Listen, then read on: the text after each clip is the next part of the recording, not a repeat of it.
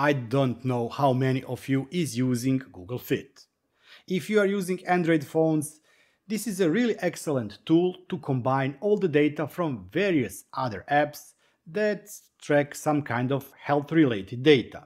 Even if you are using Fitbit, Samsung app or some other apps or Withings, all of that data can be combined inside Google Fit. And Google Fit can be the repository or database for everything related to your health, activity, sleep, etc. Today we will be looking at one awesome HACS integration called Google Fit integration. We'll start in couple of seconds.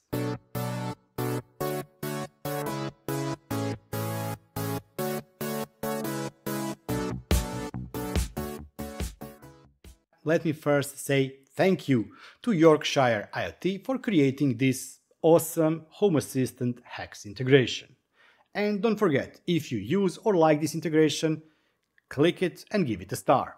So today we will be looking at this HA Google Fit integration, the HACS integration, that allows you to pull data from your Google Fit inside your Home Assistant. The question is, do you need it? Well, actually we don't need a lot of things, but it's fun to have data there and to create some specific or passive-aggressive automations that would warn you to get your ass off the chair, do some exercise if you didn't do enough in one day. The installation has unfortunately two parts. One part is very simple HACS installation that installs this HACS component, but the other one unfortunately requires you to dig in into Google Developers account. But that shouldn't be an issue if you already have Google Calendar, Google Mail, or for example Google Assistant inside your Home Assistant. If you have, you are probably two-thirds of the way done. This integration requires Google Fit REST API, or how it's called inside developer's platform, Fitness API. It will pull all the data it can and provide that as a sensor data inside one device inside your Home Assistant. On the documentations page, you can see the platform, is it a sensor, binary sensor, whatever, and most of them, if I'm not mistaken, are sensors. Then you have the name of the device that will be created or entity that will be created and some information about each of the entities created. We will talk about the frequency of the update of data inside Home Assistant later when we create integration inside Home Assistant. But also bear in mind this note here. It takes between 30 and 60 minutes for the data that is created until it's pushed on the servers and then synchronized back with Home Assistant. So there is a latency. And yeah, this is not a medical grade device or medical grade application. This is more for our fun. And yes, if you're wondering, you can create multiple accounts. Unfortunately, it does require you to go through all the steps of authentication configuration for each of the accounts, but yes, it's possible. So you can track your and your better half data inside one instance of Home Assistant. But enough about the integration itself, let's start installing it. For that we have to go to Home Assistant into HACS or HACS. In HACS go to Integrations, Explore and Download Repositories and type in Google and select Google Fit. We've already looked through the documentation, so we are going to click on Download. The latest version at the time of the recording is version 2.1.1. Click Download and we'll wait for the integration to install. Since this is a HACS integration, we will need to restart our Home Assistant. Let's go back. We have here notification, click on navigate and restart. Okay, this part was easy, but now comes the hard part. If you already have Google Calendar, Google Mail or something similar, you should already have a Google Developers account. So I will be going only through those steps for those of you that already have everything set up. In the documentation, I will be leaving a link to the Google Mail documentation since this one is also referenced by the integration itself. There are steps what you need to do in order to get everything ready for the first time. So I'm going to do step 1, then we will skip to step 13. We will click on Gmail, but we do not need Gmail API, instead we need Google Fit. Click on navigation bar, APIs, enabled APIs, search for Fit, Fitness API, click on it and enable it. Now our Fitness API should be enabled. It will take a couple of seconds for this to finish. Let's check OAuth consent screen. This is in production. Let's go to credentials, create credentials, OAuth client ID, web application, Name will be Home Assistant Fit. This can be any name, but I do suggest that you create a unique name so that later on you will know what app is using what auth key. Click on Add URI and paste the link. This link is available in the documentation on the step 16. This one here. Copy it and click Create. I recommend that if you have a safe place that you download JSON file and also temporarily copy this client ID and client secret. Both of those will be needed inside Home Assistant for this integration to work. Click on OK and we have here this Home Assistant fit. This is new auth to client ID, creation date, type of the application, client ID, etc. We are pretty much done in this Google Developer section, but before we end here, let's once again just check if the API is enabled. Library, fit, click on it, and it should have a green mark. API is enabled. By the time this is finished, your Home Assistant has probably rebooted. So let's go to Settings, Integrations, Add Integration, type in Google and select Fit. Here you have once again the information on the steps that we have already finished. I'll type my name here and paste client secret and client ID.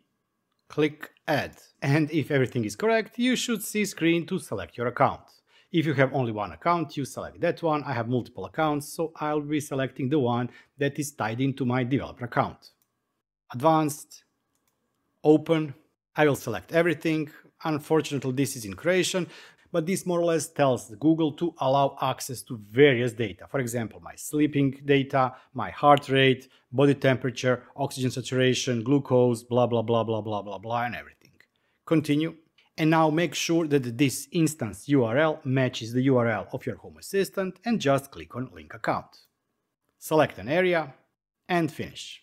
If we go to Google Fit integration, we will see that we have one device with 22 entities. As I mentioned previously, yes, you can also have multiple accounts. For each of the accounts, unfortunately, you have to go through those developer steps and you have to create separate developer account because this one will be tied to the email address that's tied with your Google account that is actually keeping all those Google Fit related data inside. But there is currently one bug, and that bug means that even if you have multiple accounts, unfortunately, you will see, no, this is not unfortunate. Good thing is that you will see them as a separate devices. So for example, Bearded Tinker will be one device, my wife will be second device, whatever would be third and fourth, etc, etc. But then after you open the device itself, for all of those family members that you are tracking Google Fit data, they are currently stuck inside one window. They are available as separate entities, but they are mixed up inside one device. This is something that is currently being worked on. But for me, I don't care. I'm the only one in the family using Google Fit. So let's look at my data. If we click on one device, here is everything that is pulled from my Google Fit account. It doesn't look that bad. Okay, so um, yeah, if you do all the steps as described and you still see unknown, wait for a couple of minutes or 5 minutes or 10 minutes. You can even restart your Home Assistant, but then again wait for 5-10 minutes because it takes some time for this integration to pull data from Google Fit. It does update that data automatically, but it also waits for a couple of minutes because it doesn't want to kick the API too much. When we are talking about that, let's check one thing before we look at all the sensor data. If we click on configure, we have two options. The one is minutes between REST API queries.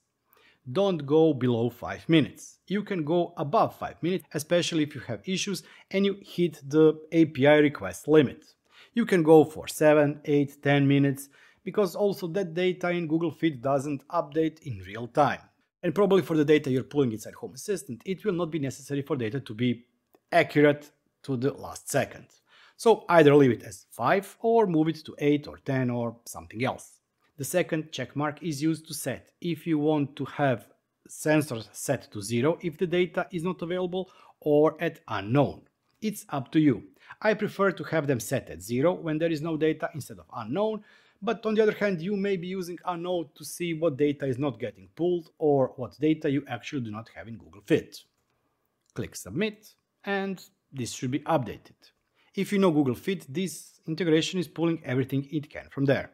You have active minutes, you have awake time, this is awake time during the sleep period, your basal metabolic rate, glucose, blood pressure, diastolic, systolic, fat, temperature, burned calories, how long were you in a deep sleep, what distance did you travel, this is a walk distance or running distance or whatever, heart points for the day, heart rate, height, hydration, if you are tracking hydration, how long were you in your light sleep, oxygen saturation, REM sleep, resting heart rate, sleep, steps, and weight. Depending on how you are filling in data in Google Fit, and I'm doing this with Google Pixel Watch and the Fit app, Fitbit app, you may or may not have all the data there.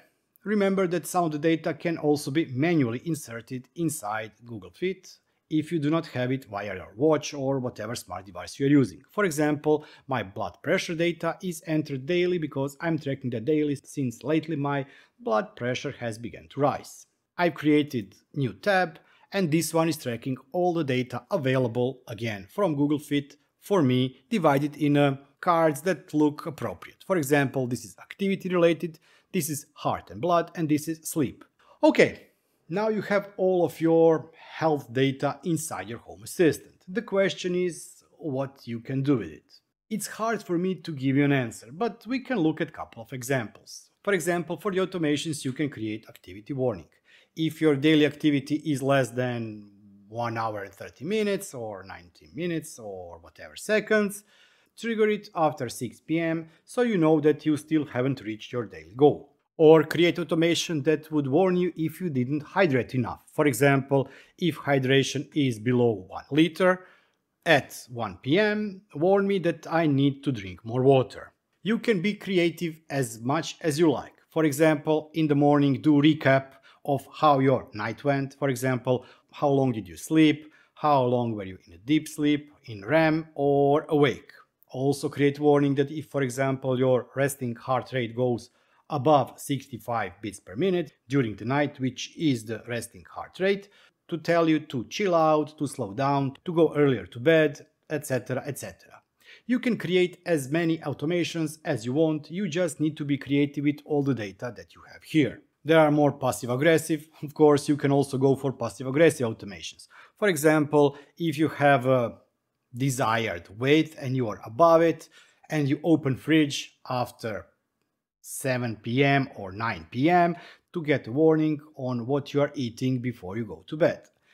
So yeah, there are tons and tons of things that you can do with this integration. And once again, it's all up to you. But also don't forget, none of the data here is medical grade data. Everything you see here is pulled from a Google Fit. And everything Google Fit has in itself is pulled from smartwatches or some other devices. And yes, there is also latency. 5 minute latency. So I wouldn't bet on this as a medical device. It can be nice overview, it can give information, it can do a morning briefs for you, it can do an evening briefs for you, especially if you integrate it with the OpenAI to create some kind of a summary of all the data, but this is still more or less just a gimmick. If you did like this video, don't forget to give me a thumbs up. Thank you. This will also impact my heart points daily, because my heart points are through the roof when I see videos that are trending and that you like. If you did find HACS gem and would like to share with us, don't forget to drop me a line down in a comment section below, or you can find me on the Twitter and send me a link there. And for the end, I really would like to thank all those wonderful people that are supporting me and that have become YouTube channel members. Thank you all for all of your support. But let's not forget each and every one of you who has watched, liked, subscribed or commented on my videos. Thank you, thank you, thank you. You all really make my day great. If you too want to support the channel, you can do so by clicking the join button down below. Or you can go to my merchandise store and buy something there. I will be seeing you next time. Until then, bye bye and have fun.